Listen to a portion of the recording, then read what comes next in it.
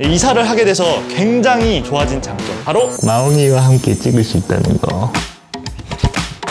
안녕하세요 비디오 클래스의 하전입니다 여러분 이곳이 어딜까요? 여기는 새 집입니다 원래 촬영하던 스튜디오가 굉장히 좁았어요. 이곳에 거의 한 두 배 정도 작았는데 아 진짜 거기서 촬영할 때는 너무 힘들었습니다. 그런데 얼마 전에 새로 집을 이사 오게 돼서 리모델링을 하고 있어요. 그래서 바닥도 이제 새로 깔 거고 벽지도 바꿀 거고 이 조명도 레일로 새로 깔았거든요. 아무튼. 오늘은 저와 함께 움직이는 프로필 사진을 찍을 건데요. 오늘은 어도비와 함께 합니다 어도비 짱! 일반적인 프로필 사진이 아니라 이제 동영상으로 된 무언가 사진인 듯 하면서도 동영상인 그런 영상 프로필 사진을 만들어 볼 건데요. 프로필 동영상이라고 해야 할지. 프리미어 프로만 있으면 따라 하실 수 있고요. 당연히 카메라도 있어야겠죠? 그럼 한번 가봅시다 자 지금 거실로 이동했고요. 이전에는 거실 같은 게 없었는데 이제는 뭐 보여드릴 수 있는 거실. 여기 조명 엄청 멋있죠? 이거 다 제가 어, 시공 맡긴 겁니다. 이 집에 대한 소개는 나중에 조금 더 자세히 하도록 하고 아 이사를 하게 돼서 굉장히 좋아진 장점. 바로 우리 마웅이와 함께 찍을 수 있다는 거.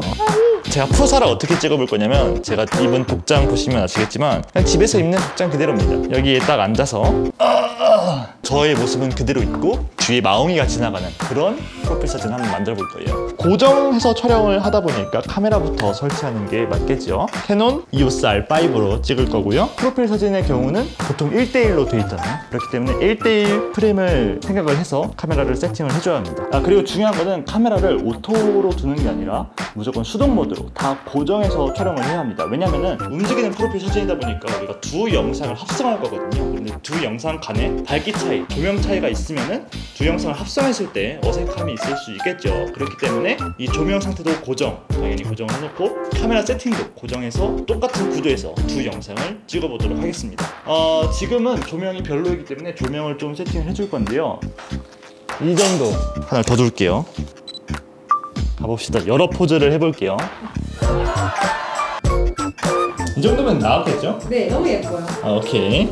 대망의 마옹이 뒤에 나오게 하는 그 연출을 해볼 건데 마옹아 미안해 추려줄게. 장난감이 필요합니다. 장난감을 꺼내면 바로 깹니다. 보세요. 마옹이가 여기 있다가 이렇게 가는 거죠. 그걸 이제 한번 만들어 볼게요. 마옹아. 아, 제가 이게 너무 인위적이잖아. 아니, 너무 사냥 포즈로 움직여서 이거는 못 쓸 것 같아. 그건 어때? 돌리는 아 당신 똑똑한데? 바로 이 추루를 이용해서 마웅이를 저기다 둔 다음에 추루 딱 따면은 자연스럽게 오는 그 현상을 이용할 겁니다. 이제 마웅이는 따라올 겁니다. 마웅아! 마웅아! 추루! 오. 좋아요. 이걸 한 번 더! 마웅아! 한 번 더! 마웅아! 마웅아!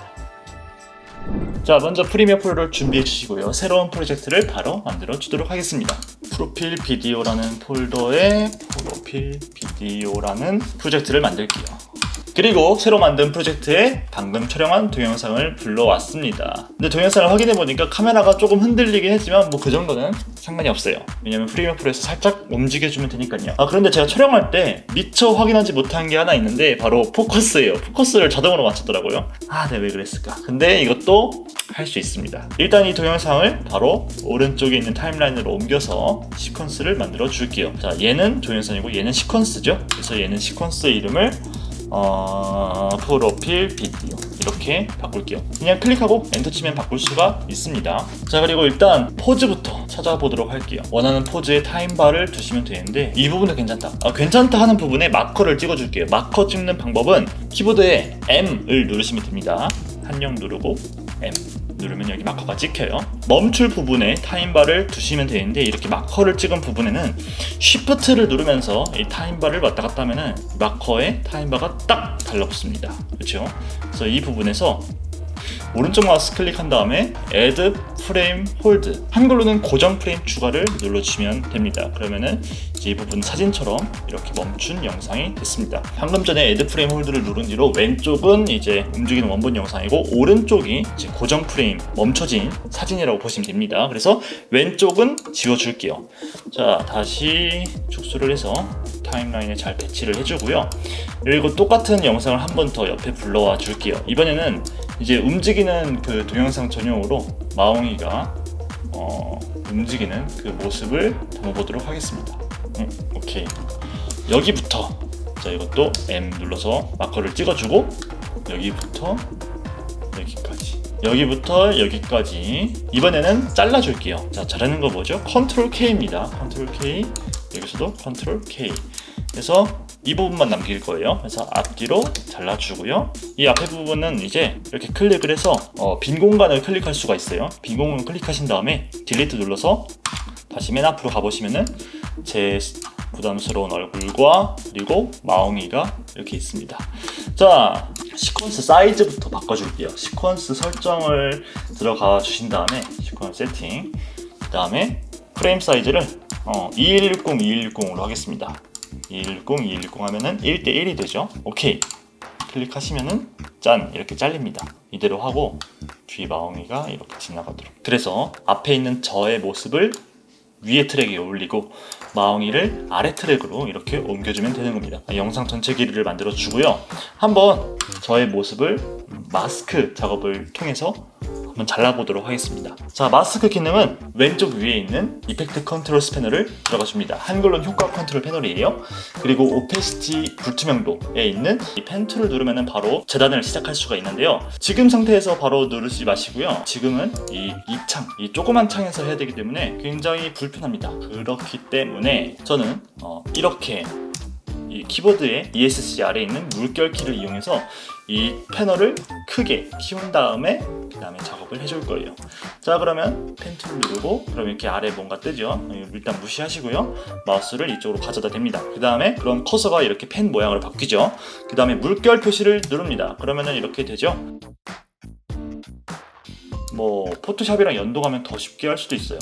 포토샵에는 엄청 간단하게 누끼를 딸 수 있는 tool이 존재하거든요. 그거를 이용해도 되는데 저는 그냥 어, 별 이유는 없고 Premiere Pro 하나만으로 한번 해결을 하려고 이렇게 하고 있는 겁니다.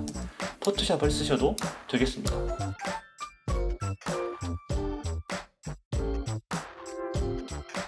자 일단 이렇게 완성을 한번 해봤고요. 음, 다시 Fit을 눌러서 잘 맞게 해놓은 다음에 한번 재생을 해볼게요. 이렇게 아 뭔가 좀 웃긴데? 내 앞에 제가 나온 이 부분을 잘라줄 수가 있습니다. 어 일단 제가 없는 부분 이 부분에서 타임바를 이렇게 두신 다음에 이 아래에 있는 이 영상을 Alt 누르면서 클릭하고 Alt 누르면서 위로 드래그를 해서 복제를 할게요.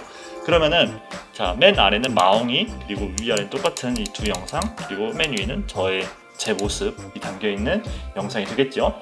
그래서 이 복제된 이 영상을 오른쪽 마우스 누르신 다음에 Add 프레임 홀드를 누를게요. 그러면은 이 오른쪽 것이 멈춰진 프레임이란 말이에요.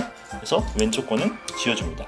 그리고 오른쪽 거를 다시 이렇게 가져다 둔 다음에 이 앞쪽에다 이렇게 둘게요. 근데 마웅이 이렇게 멈춰 있으면 안 되잖아요. 그래서 제가 노출됐던 그 부분만 없앨 건데 일단 time bar를 이 안쪽으로 가지고 와서 컨트롤 누른 다음에 이렇게 영상의 반쪽만 이렇게 잘라줄게요. 여기 이 부분이 딱 사라져서 살짝 어색해지는 걸 방지하기 위해서 여기에 살짝 fade를 넣어줄게요. 살짝 fade를 넣어서 어색하지 않게 만들어주고요. 오케이.